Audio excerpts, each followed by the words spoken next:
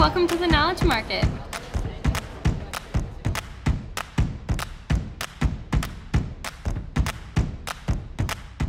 This is one of the best free resources on campus that we have consultants here waiting for students to come up with their assignments.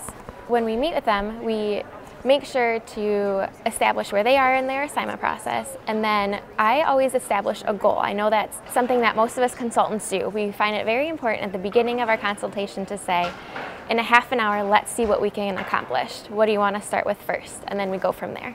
Most students who come in uh, need to work within the databases. They need to find scholarly, peer-reviewed articles that their professor wants them to use in either a paper or a project or a presentation. And so what we do is we go through the GVSU databases, make sure that we um, filter it to be scholarly and peer-reviewed, and then we search their topic and see what we come up with. Throughout the consultation, we want to make sure that we're not leading the student too much, that we're not choosing what to search or that we're essentially doing the assignment for them. We want to make sure that students know how to research after they leave and that they have the tools to do that themselves.